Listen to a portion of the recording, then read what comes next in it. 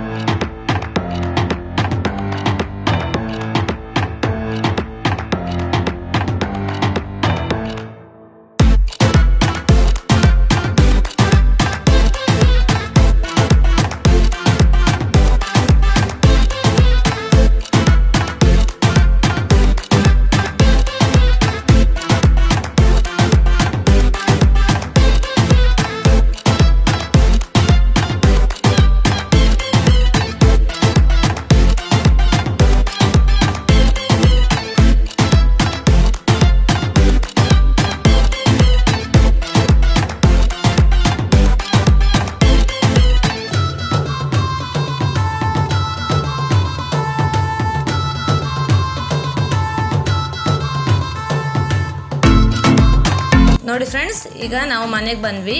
ಇದೆಲ್ಲ ನಾವು ತಗೊಂಡಂಥ ವಸ್ತುಗಳು ನಿಮಗೆ ಇದರಲ್ಲಿ ಯಾವ್ದು ಇಷ್ಟ ಆಗಿದೆ ಅಂತ ಒಂಚೂರು ಕಮೆಂಟ್ ಮಾಡಿ ಹೇಳಿ.